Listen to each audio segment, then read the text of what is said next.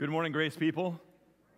Good to be with you today on this brisk winter morning as we step into the new year. It is a new year here at Community of Grace, and for some of you, this may be a new place for you. If you are new to our congregation, we would love to get to know you better. There's a couple ways that we can do that. First of all, you may see a card in front of you in the pew that says new here with a little barcode attached to it. You can scan that in on your phone, and that will help you to connect further with us as a congregation. Also, please stop by the orange wall and visit with our connections and service coordinator, Hannah Collins, as well as others who are there to greet you and start your journey with us here at Community of Grace. This is the day the Lord has made. We will rejoice and be glad in it. Would you please stand this morning as we lift our voices in praise to God?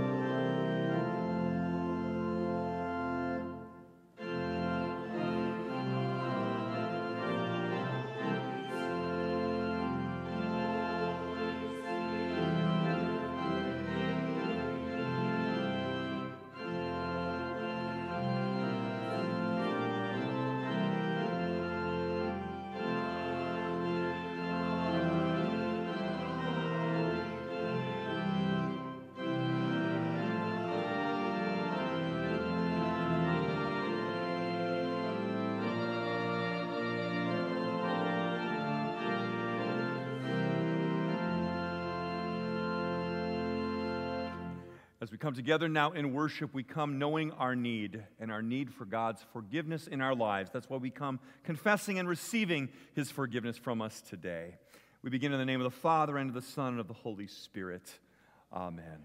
Almighty God, to whom all hearts are open, all desires known, and from whom no secrets are hid, cleanse the thoughts of our hearts by the inspiration of your Holy Spirit, that we may perfectly love you and worthily magnify your holy name through Jesus Christ our Lord. Amen. 1 John chapter 1 says, If we say we have no sin, we deceive ourselves, and the truth is not in us. But if we confess our sins, God, who is faithful and just, will forgive our sins and cleanse us from all unrighteousness. Trusting in this promise from God, let's take a moment now to silently confess our sins before the Lord.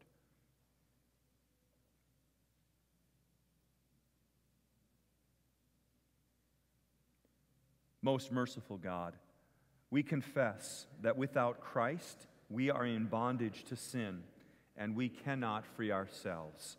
We have sinned against you in thought, word, and deed by what we have done and by what we have left undone. We have not loved you with our whole heart. We have not loved our neighbors as ourselves. For the sake of your Son, Jesus Christ, have mercy on us Forgive us, renew us, and lead us, so that we may delight in your will and walk in your ways to the glory of your holy name. Amen. Almighty God, in his mercy, sent his Son Jesus to die for us, and for his sake forgives us all of our sins. In the authority of Scripture and by the power of the blood of Jesus Christ, I tell you by his promise, what you have confessed has been forgiven. In the name of the Father, and of the Son, and of the Holy Spirit. Amen. You may be seated as we continue with our service, lifting our voices in our hymn of praise.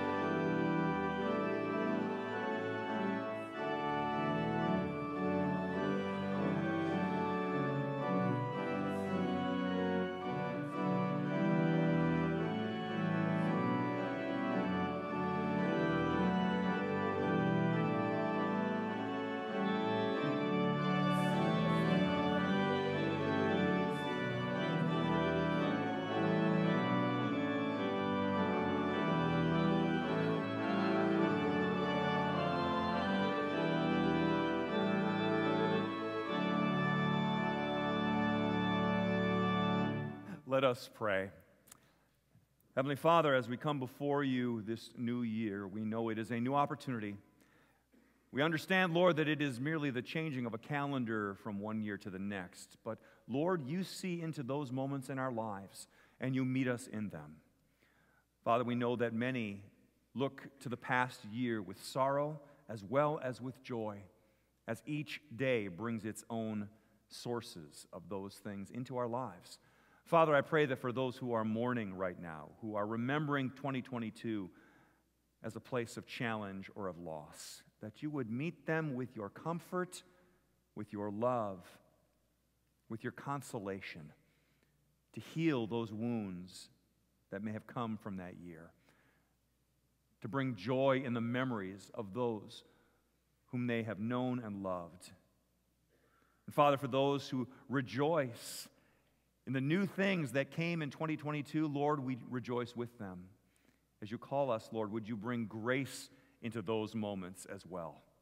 Father, as we look into the new year, Lord, with new opportunities and with new realities, Lord, we continue to lift up in this nation our leaders, our president, our Congress, our Supreme Court, Lord, as well as local leaders and officials in our state, Lord, our governor and legislature, and local mayors and leaders of communities around us, Lord. Would you give them wisdom as they lead and guide them in your righteousness? Father, we pray for all of those first responders, Lord, as well as those who serve within the medical community as doctors and surgeons. Lord, would you give them grace in this new year? Would you give them rest, Lord, and renewed energy and sense of purpose in you? Father, we thank you for each family that is represented in this house, Lord. Would you help knit us together, Jesus, by your grace, into the kind of family that only you supernaturally can make us? And Lord, would you open wide the gates of your mercy that many others may come to know you and your grace and your forgiveness and your purpose in life in this new year. Lord, help us to be a sign of that grace and help us to see grace in every corner of our community by your word, by your will at work in our lives. We pray these things, Jesus, in your name. Amen.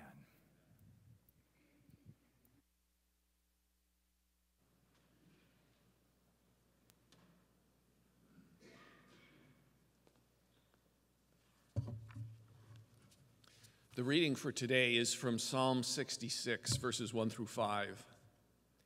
Shout for joy to God, all the earth.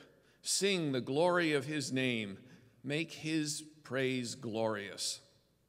Say to God, How awesome are your deeds! So great is your power that your enemies cringe before you. All the earth bows down to you. They sing praise to you. They sing the praises of your name. Come and see what God has done, his awesome deeds for mankind. Here ends the reading. Please rise for the reading of the gospel.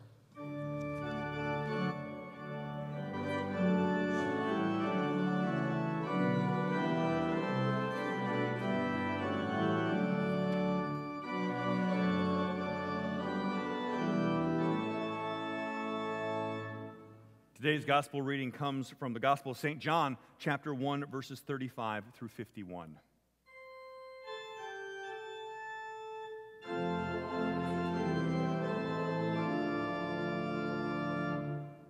Rather long reading, so I'll let you know if you need to sit, you're welcome to sit at any time. Beginning at verse 35. The next day, John was there again with two of his disciples. When he saw Jesus passing by, he said, Look, the Lamb of God. When the two disciples heard him say this, they followed Jesus. Turning around, Jesus saw them following and asked, What do you want? They said, Rabbi, which means teacher, where are you staying? Come, he replied, and you will see. So they went and saw where he was staying, and they spent that day with him. It was about four in the afternoon. Andrew, Simon Peter's brother, was one of the two who heard, that who heard what John had said and who had followed Jesus. The first thing Andrew did was to find his brother Simon and tell him, We have found the Messiah, that is the Christ. And he brought him to Jesus. Jesus looked at him and said, You are Simon, son of John. You will be called Cephas, which, when translated, is Peter. The next day, Jesus decided to leave for Galilee. Finding Philip, he said to him, Follow me. Philip, like Andrew and Peter, was from the town of Bethsaida.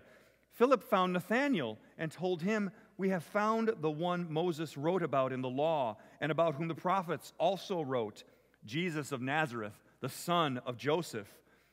Nazareth? Can anything good come from there? Nathanael asked. Come and see, said Philip. When Jesus saw Nathanael approaching, he said of him, Here truly is an Israelite in whom there is no deceit. How do you know me? Nathanael asked. Jesus answered, I saw you while you were still under the fig tree before Philip called you.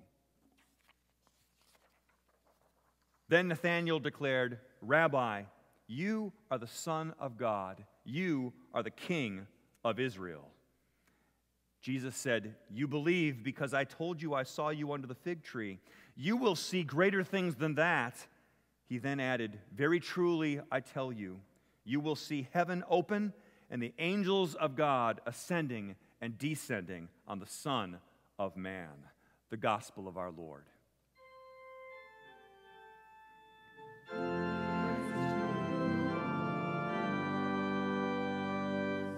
You may be seated. We send the children at this time to go off for their education, to grow and to learn and to be loved and know of Jesus. God bless you as you go. Well, Happy New Year, friends. Uh, there we go. Good. You can give the liturgical response, and also with you. Yes. As we begin the new year, we continue on our sermon series that began all the way back in September, our Route 66 journey, a journey through the grand story and narrative of the Bible. And we have covered a lot of ground since last September. As a matter of fact, we've covered the entire Old Testament, not in detail, but we've made our way through many of the great stories and great characters of the Old Testament to lead us into this big picture.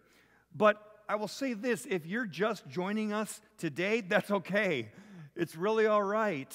There are ways for you to go back and look at some of those sermons from the past. But more importantly, I want you to know this because I know this for certain.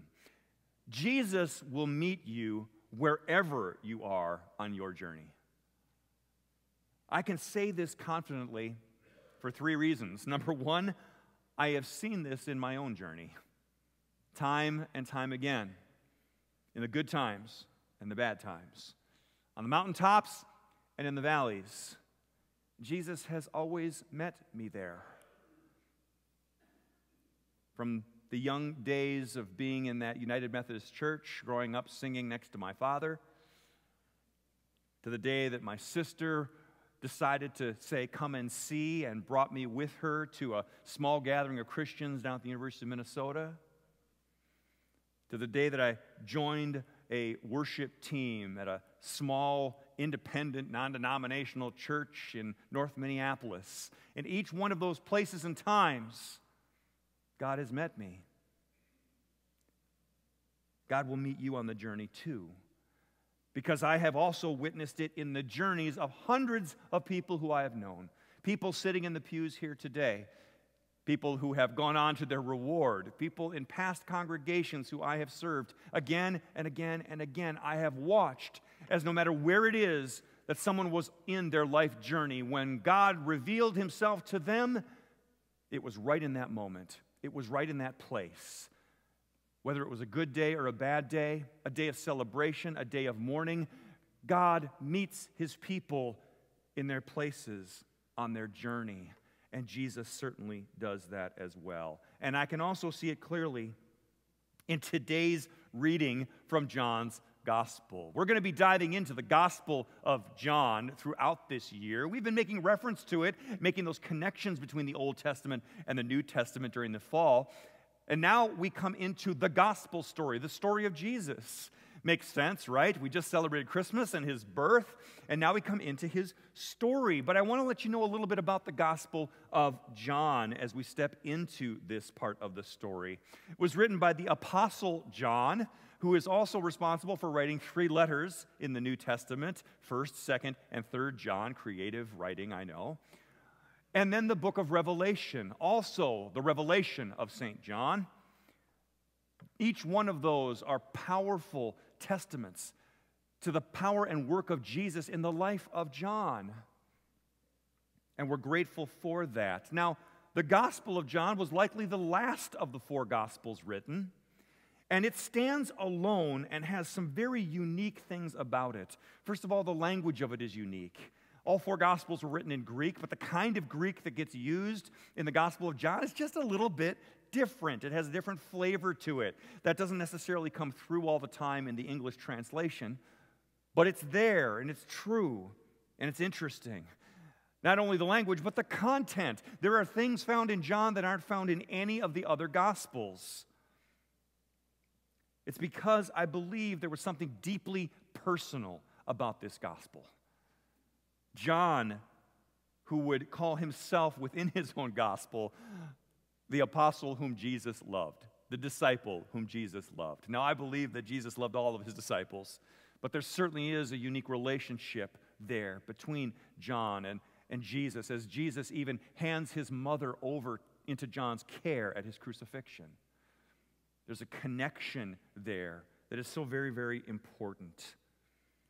And you'll also notice that there's no birth narrative in the Gospel of John. We don't hear a story of Bethlehem or of a journey from Nazareth. We, we don't hear a, a story of a, of a stable or of a manger. Any of those features show up. Instead, we are introduced to the Word of God, the Word who became flesh, the one who stands outside, above, and transcends time and space It's an important view of Christ and one that we should embrace as we make our way through this gospel. John wants to make a point that regardless of where Jesus was from, he is the Son of God. He is Son of Man. He is truly the Messiah. And that while those links and histories that we see in the, narr- in the narratives of the, the synoptic gospels, as they're called, are very important and wonderful, there's something different and rich about the way John approaches Jesus and wants the story to be told. And as we step into the story today, we see where this story begins. It begins with John as a disciple, but not as a disciple of Jesus. He is a disciple of another John, John the Baptist. Don't get all the Johns confused because there's a lot of them. But he is a disciple of John the Baptist. And John the Baptist also stands alone amongst the prophets. That's who Jesus refers to him as. The last, really, of the Old Testament prophets, the one who transitions from the old to the new, the one who, who brings a sense of urgency in preparation for the arrival of Jesus, the one whom all the other prophets foretold. John gets to be the prophet who gets to witness it first hand. The Messiah arriving, an important position for sure. To be able to identify who this Jesus is, to recognize and know why he has come, and to make it declared boldly and clearly to everyone around him I am not the Messiah, there he is. Look, behold, the Lamb of God. Important words from John. John, who has his disciples, including John the Apostle. And it says that as they make this connection, two disciples of John immediately leave John and go to follow Jesus. And John's okay with this. John speaks at another time saying that he must decrease, that Jesus might increase. He recognizes the significance.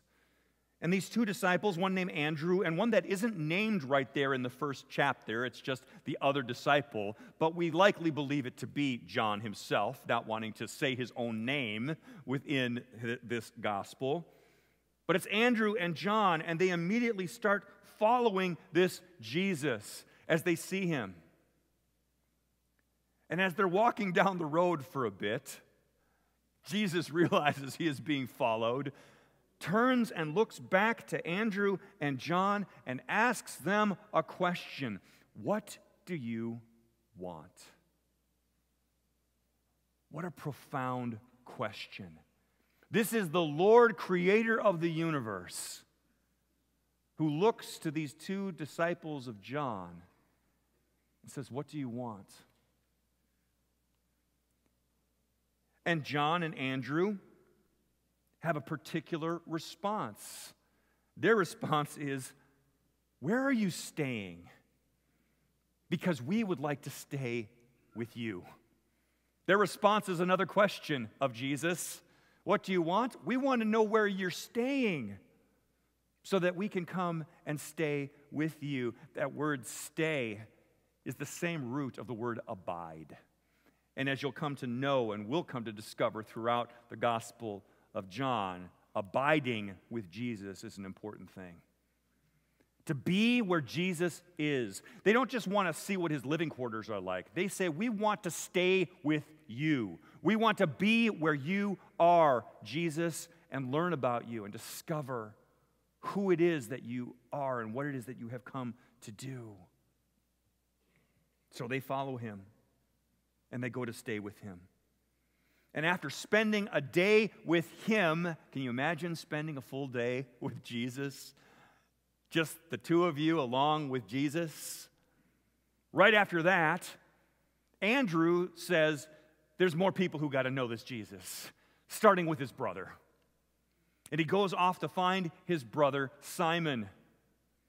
And he says, Simon, you have got to come and see this Jesus and meet him and learn of who he is. And so Simon comes to Jesus. And Simon doesn't say a question out loud, But I think there's an internal question for Simon. And that question is Who am I to you, Jesus? If you are truly this Messiah, this one sent by God, the one we've been waiting, then who am I? An important question of identity. Just trying to understand who he is. And that's where Jesus looks at him and says, Ah, Simon, I'm going to call you something else. I'm going to call you Peter, which means rock. And that, of course, will come to mean new things to Peter as well. The foundation upon which Jesus would build his church. The declaration of Peter, which in the Gospel of John is actually the declaration of Andrew, says, You are the Christ. You're the one we've been waiting for. You're the Messiah. And on that declaration, Jesus looks at Peter and says, I'm going to name you. This will be your identity now Peter. And they continue on into the next town. And there Jesus spies Philip. And Philip has nothing to say. Jesus looks at Philip and simply says, Come on, follow me. Maybe Philip is more the introvert. But I have to imagine that somewhere in Philip there may be an internal question. Jesus says, Follow me. What would the natural question be? Where are we going? Where are we going? Where are you going to lead me and us now? You've got a lovely little band of people who you are bringing with you, clearly calling them to follow you. Where are we going? Where is this journey going to take us? Oh, if only he knew, would he have still gone along? But Jesus makes the invitation clear come and see. Come and see. And then from there, Philip brings Jesus to find Nathanael. Nathanael, who had been sitting under his tree enjoying the figs. By the way, that's a picture of the blessed life. Each person sitting under their own fig tree in the shade.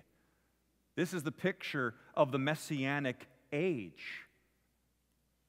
There's Nathanael living the dream until Philip comes to him and says, You need to come see this man, this son of Joseph from Nazareth. and the great response of Nathanael Nazareth? What good could possibly come from Nazareth? You see, Nathanael knows his Bible. He knows that the coming Messiah was not meant to come from Nazareth. There's no recognition anywhere of him coming from Nazareth. But again, John is making a point that yes, this Jesus was born fulfilling the prophecy, born in Bethlehem and he comes from a place called Nazareth, and he has a, an earthly father in the name of Joseph, but that is not his true origin. He is the Son of God and the Son of Man. And the picture he paints for Nathanael is clear. Nathanael, I saw you before. I've known you. I know who you are. And for Nathanael, the question must be what kind of Messiah is this? Who comes from Nazareth, but sees me as I am before he ever knows me.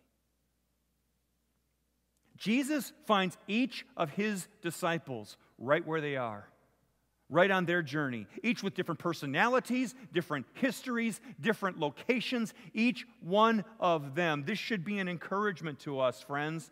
Once again, no matter where you are, Jesus will find you, reveal himself to you, and invite you to come and see, even before you are a disciple.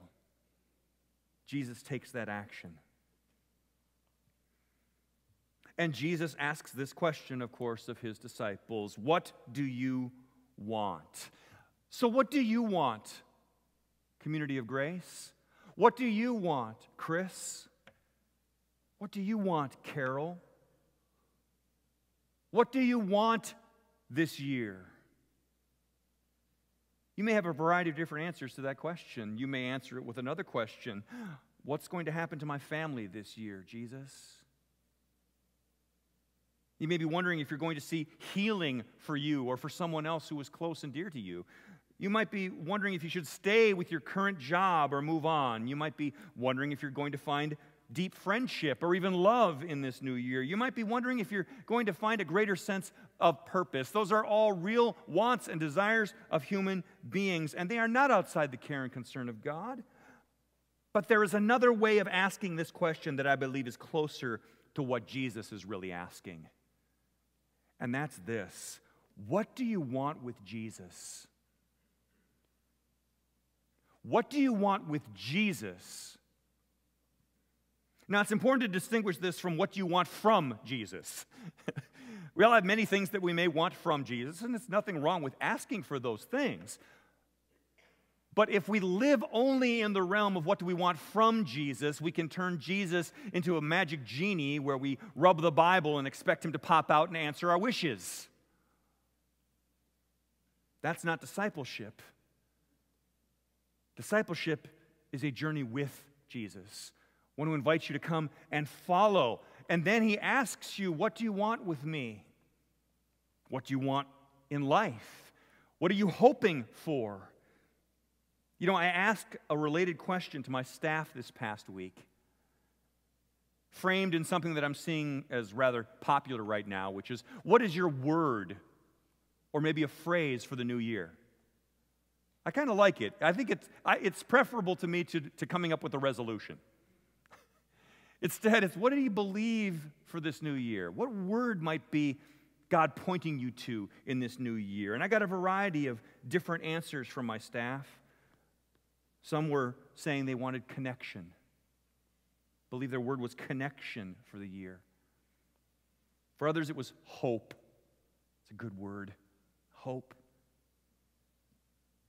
Another, it was unity, a desire to see greater unity. All good words. Others weren't quite sure or hadn't had time to think about it yet, or were dealing with some immediate needs that were more pressing right now. That's all good, it's all a part of our journey. For me, personally, the word that I feel the Lord has given me this year is favor. Now, favor is a tricky word.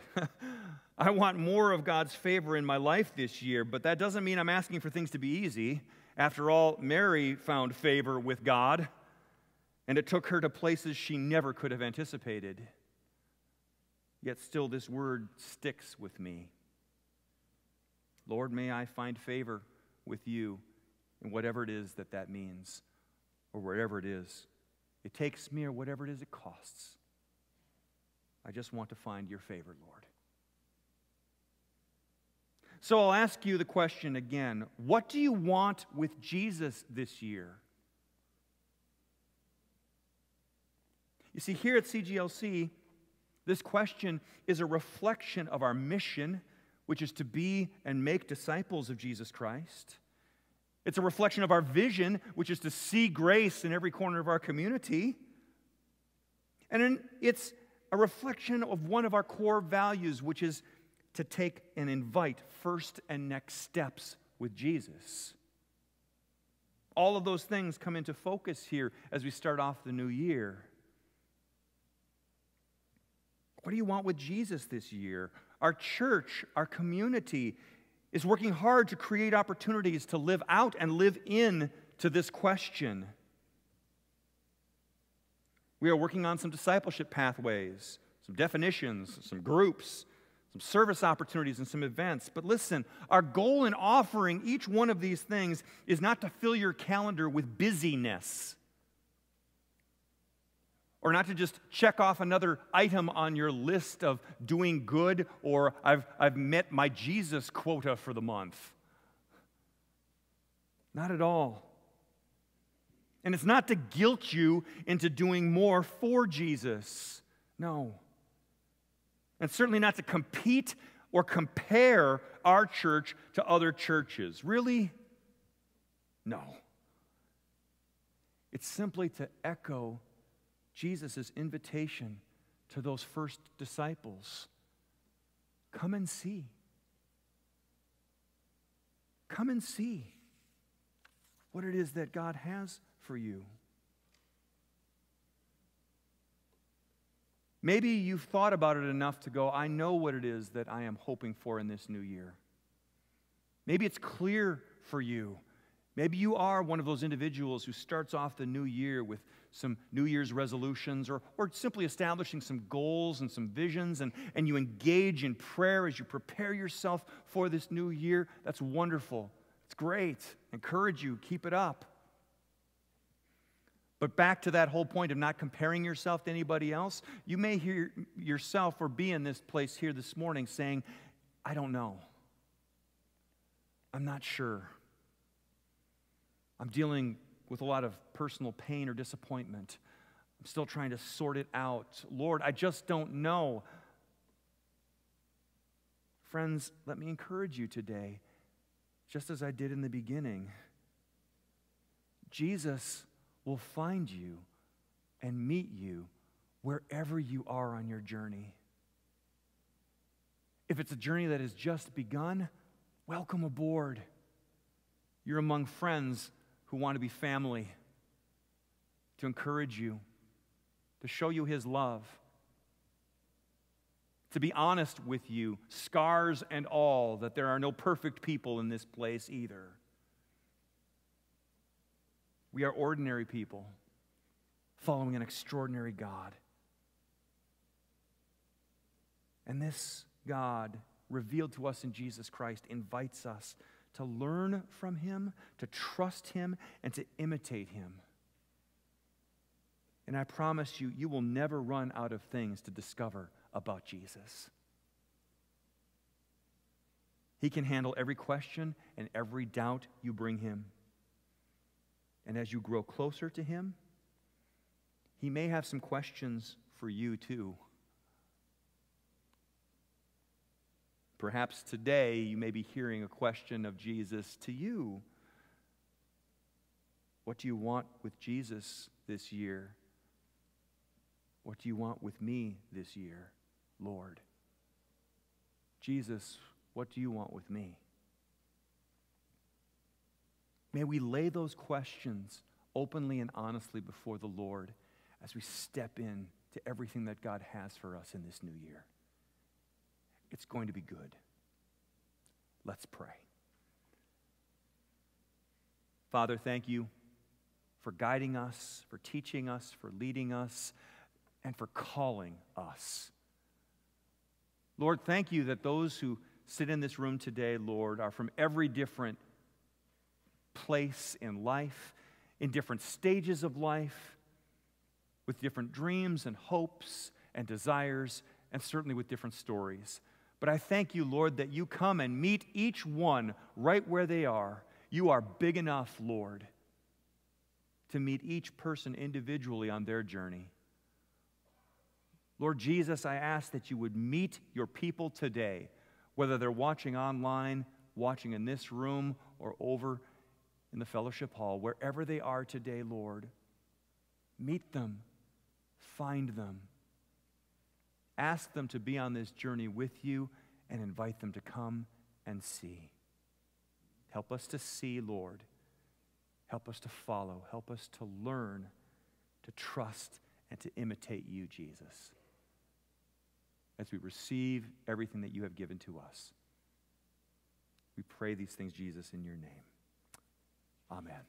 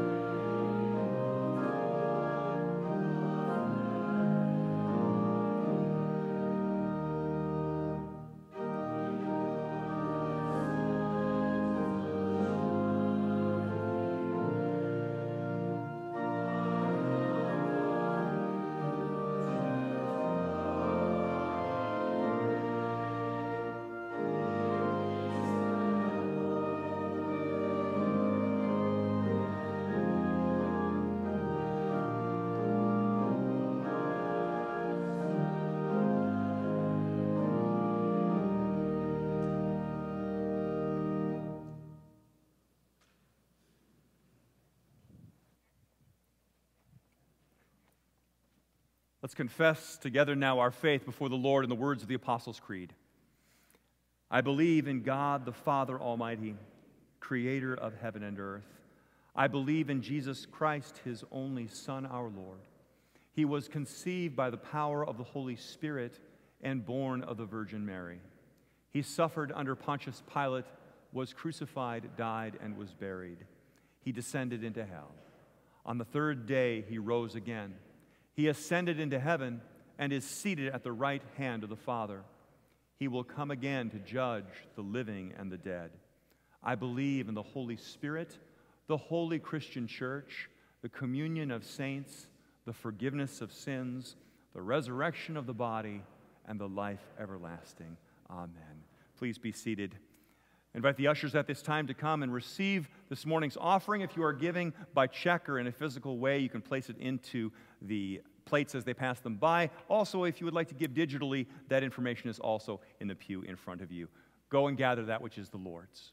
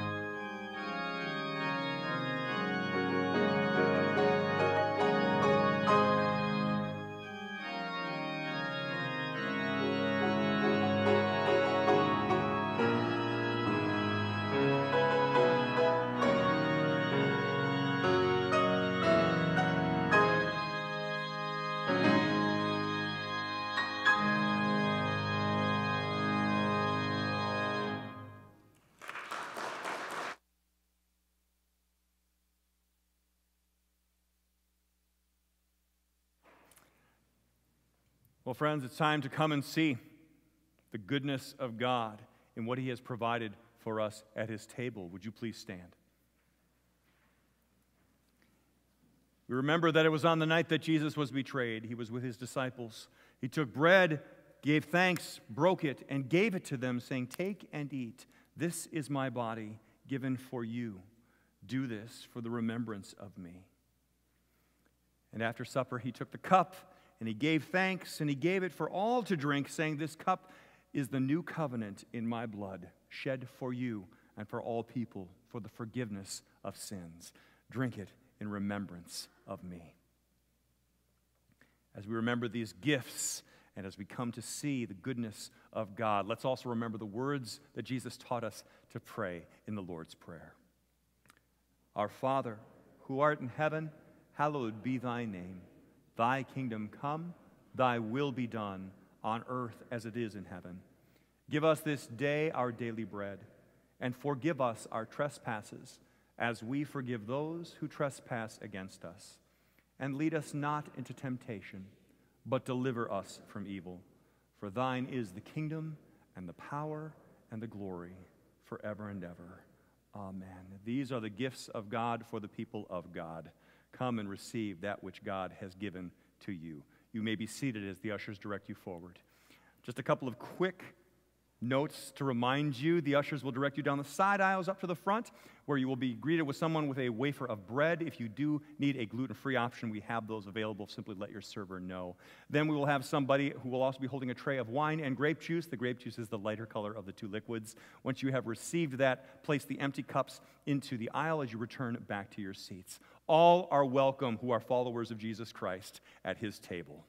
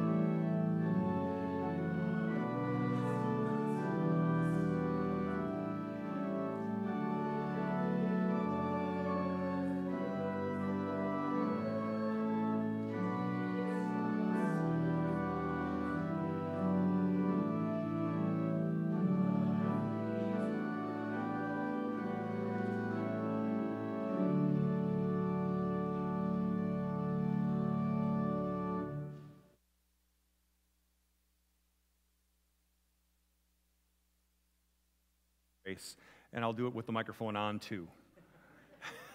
God bless you. Well, friends, as I mentioned, we have next steps that we invite people to uh, take here at Community of Grace. First and next steps. I want to give you a few of them right now that are coming here as we come into the new year. First of all, faith mentoring training, a great opportunity to grow as a disciple of Jesus and to learn how to mentor others in the faith. There are two options for this class. Uh, it begins, uh, the, uh, you have a chance to do it on Sunday, the 15th, that's starting next Sunday at 10.30 a.m., or Tuesday the 17th in the evening, and that is a Zoom class. And the, the content will be the same. One will be a virtual option, and then one an in person option. Whichever one of those works for you, please consider stepping in. It's a three session class. It's going to focus on the how to's of becoming a faith mentor. There's going to be plenty of hands on practice and application and role playing, which is great. Uh, in addition, you'll be practicing starting a mentoring relationship, the mentoring process, and much more. You can sign up online or at the information desk to let the leadership know that you're going to be participating. Next, our annual meeting is coming up on Sunday, January 22nd. It begins at 11:45 in the fellowship hall. Everyone is welcome, though only members are able to cast a ballot. Uh, we do need a quorum of 100 people to conduct business, and the agenda is posted in the Commons. Childcare is provided in the community room for children up to 12. Uh, we'll be giving you an update. We did finish the year strong, thank you. Uh, but we want to give you uh, more specifics and details as the annual report comes out and as you also come and join us for that meeting. An important meeting for sure. And then finally, Tech Training Day. People of all ages have fascinations with technology. We have a lot of it that we use here at Community of Grace to help us put our services together on Sunday mornings and at other various times and various events. We would love to train you if you have an interest. We've scheduled a training.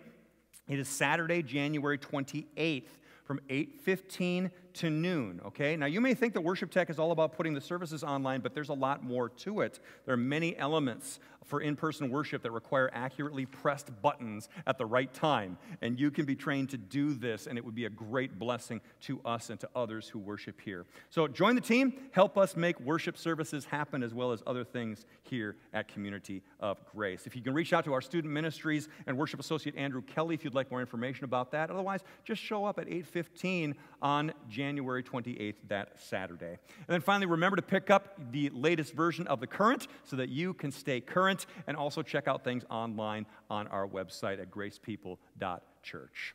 Well, friends, would you please stand now? Receive this blessing as we make our way out into the world. May the Lord bless you and keep you. May the Lord make his face to shine upon you and be gracious to you.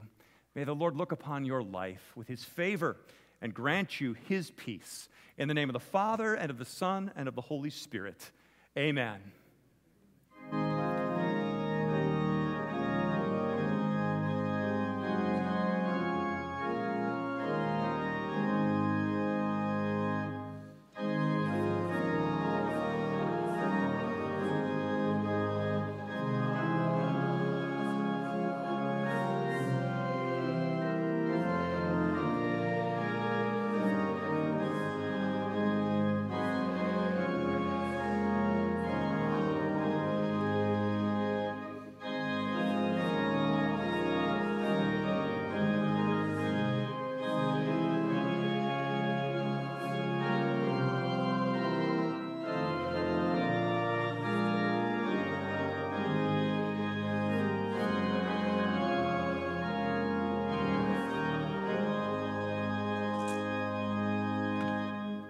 In peace and serve the Lord.